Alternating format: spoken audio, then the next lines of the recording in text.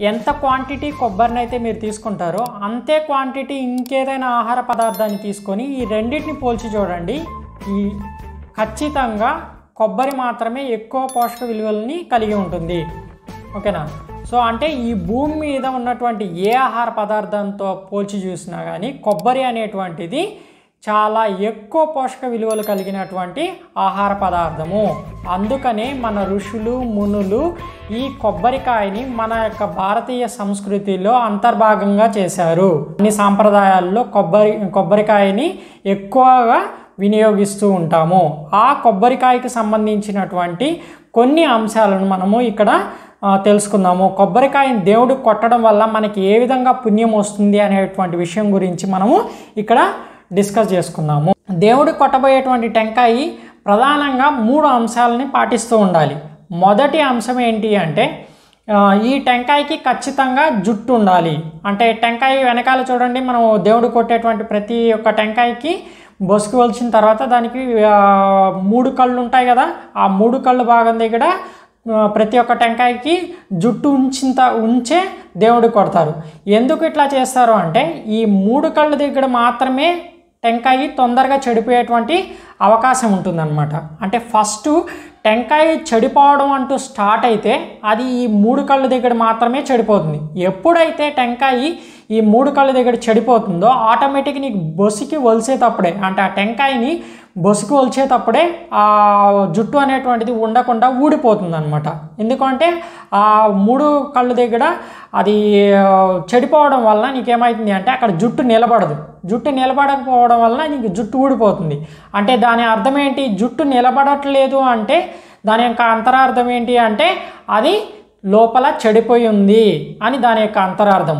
ఒకవేళ కనుక ఆ జుట్టు ఊడిపోలేదు అనుకో ఆ టెంకాయి చెడిపోనట్టు అంటే పర్ఫెక్ట్గా ఉన్నట్టు అంటే మంచి టెంకాయి అని దాని యొక్క అంతరార్థం.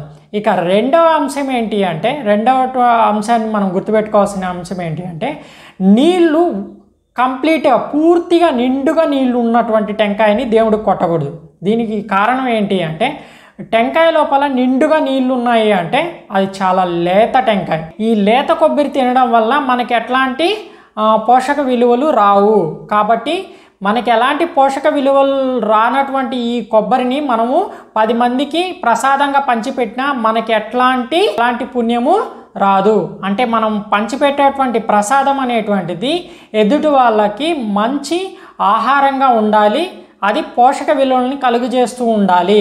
అప్పుడు మాత్రమే మనకు పుణ్యం వస్తుంది. స్టార్టింగ్లో చెప్పాను టెంకాయ అనేటువంటిది ఈ భూమి మీద అత్యంత పౌష్టికాహారం కలిగినటువంటి ఒక ఆహార పదార్థం. పూర్తిగా నీళ్ళు ఎండిపోయినటువంటి కొబ్బరిని దేవుడికి సమర్పించకూడదు. ఎందుకంటే పూర్తిగా నీళ్ళు ఎండిపోయింది అంటే ఈ కొబ్బరి అనేటువంటిది పూర్తిగా ఆయిల్లోకి కన్వర్ట్ అయిపోతుంది. ఆయిల్లోకి కన్వర్ట్ అయిపోతుంది అంటే ఈ కొబ్బరి అనేటువంటిది తినడం వలన మనకి ఆయిల్ ఫుడ్ తీసుకున్నట్టు ఉంటుంది. సో దీనివల్ల దగ్గు వచ్చేటువంటి అవకాశం కూడా ఉంటుందన్నమాట. సో కాబట్టి నీకేమవుతుంది అంటే ఈ ఆయిల్ ఫుడ్తో కూడినటువంటి కొబ్బరిని తీసుకోవడం వలన దగ్గు వచ్చేటువంటి అవకాశం ఉంటుంది. మన శరీరం దీన్ని డైజెస్ట్ చేసుకోవడం అంటే అరిగించుకోవడానికి టైం తీసుకుంటుంది. రెండవది ఏంటంటే దగ్గు వచ్చేటువంటి అవకాశం ఉంటుంది. మూడో అంశం ఏంటి అంటే చాలామందికి ఇది అన్డైజెషన్ అంటే అసలు పూర్తిగా అరగకుండా ఉండేటువంటి అవకాశం ఉంటుంది. సో ఈ మూడు కారణాల చేత మనం పూర్తిగా నీళ్ళు ఎండిపోయినటువంటి కొబ్బరికాయని దేవుడికి సమర్పించకూడదు. అలాగని పూర్తిగా నీళ్ళు ఉండి అంత పరిపక్వత చెందినటువంటి టెంకాయని దేవుడికి సమర్పించకూడదు. మూడోది ఏంటంటే జుట్టు దగ్గర పాడైపోయినటువంటి జుట్టు లేనటువంటి టెంకాయని దేవుడికి సమర్పించకూడదు. ఈ మూడు అంశాలని దృష్టిలో పెట్టుకొని ఈ మూడు కండిషన్స్ని ఫాలో అవుతూనే మనం సమర్పించేటువంటి టెంకాయ వలన మనకి పుణ్యం లభిస్తుంది. పుణ్యం లభించాలంటే కేవలం కొబ్బరికాయని ఈ మూడు అంశాలతో ఉన్నటువంటి కొబ్బరికాయని దేవుడికి సమర్పించడమే కాదండి. ఆ కొట్టినటువంటి కొబ్బరికాయని వృధా చేయకుండా పది మందికి ప్రసాదంగా పంచి వాళ్ళ యొక్క శరీరం యొక్క పోషక విలువలను మీరు పెంచగలిగినట్లయితే అప్పుడు మీకు పుణ్యం వస్తుంది. ఓకేనా? చాలామంది చూడండి దేవుడికి కొబ్బరికాయ కొడతారు దాన్ని తీసుకొచ్చి ఇంట్లో పడేస్తారు దాన్ని వాళ్ళు తినరు అట్లా అని ప్రసాదంగా ఎవరికి పంచిపెట్టరు.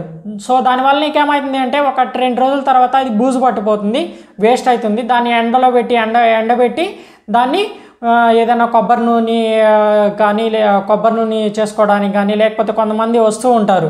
ఇట్లా మీ కొబ్బరికాయ యొక్క బుడగలకు ఎండి ఎండిన కొబ్బరికాయ బుడగలకు మేము కొబ్బరి నూనె కానీ లేకనంటే ఇంకేదన్నా ఇస్తామనేటువంటి వ్యాపార వ్యాపారులు వస్తూ ఉంటారు.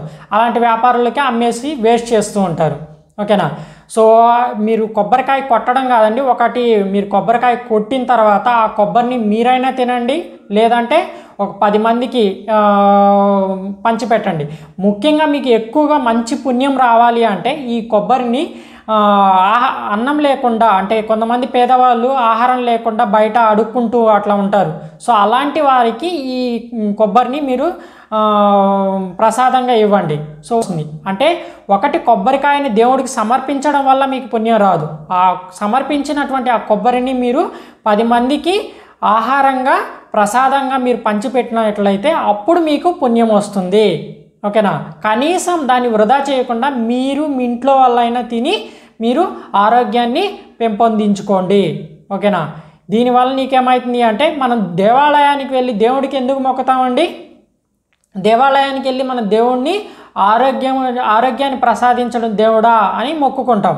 ఆ ఆరోగ్యాన్ని ఈ కొబ్బరికాయ మంచి పోషక విలువలు కలిగిన కలిగినటువంటి ఈ కొబ్బరికాయని తినడం వలన ఆరోగ్యం వస్తుంది. అంటే మీరు కోరుకున్నది ఏదైతే ఆరోగ్యం ఉంటుందో ఆ ఆరోగ్యం ఈ కొబ్బరికాయ యొక్క కొబ్బరిని మీరు తినడం వల్ల వస్తుంది. లేదా మీరు పది మందికి ఆహారం లేనటువంటి అడుక్కునే వాళ్ళకి పంచడం వలన అంటే బెగ్గర్స్కి పంచడం వలన ఆ విధంగా అయినా సరే మీకు పుణ్యం వస్తుంది. ఓకేనా? మొదటి అంశం ఏంటి అంటే మూడు కండిషన్స్ని ఫాలో అవుతూ అంటే జుట్టు ఉన్నటువంటి టెంకాయని మాత్రమే దేవుడికి సమర్పించాలి.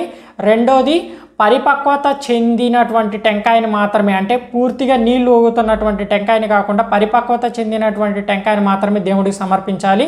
మూడో అంశం ఏంటంటే పూర్తిగా నీళ్ళు ఎండిపోయినటువంటి టెంకాయని దేవుడికి సమర్పించకూడదు.